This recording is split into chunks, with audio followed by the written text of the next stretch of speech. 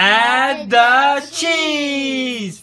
Welcome back to another fun, exciting episode of Add the Cheese. Hey, today's subject, waffles, right? You got your chicken waffles, you got your waffles with syrup, you got your waffles with jam, but hey, none of that counts anymore because you know what the best topping of waffles is? You guys got that right. Let's add the cheese. Let's do it! Like I was saying, before we even eat it, we must cook it. Go ahead and throw it in your toaster oven, set that bad boy up, and cue the cheesy music.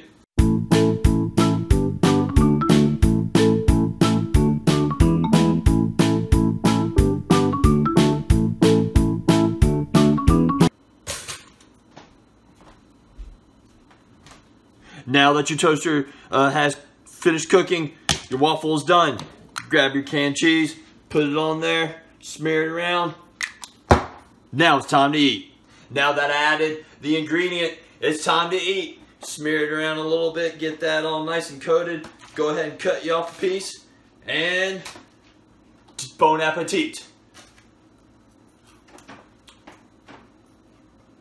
Alright, it's not that bad. It's kind of like eating a grilled cheese sandwich. So hey, no complaints here. But hey, if you like this idea, please give me a like, give me a subscribe, give me some ideas. I'd be more than happy to do anything. And once again, this is David with Add the Cheese.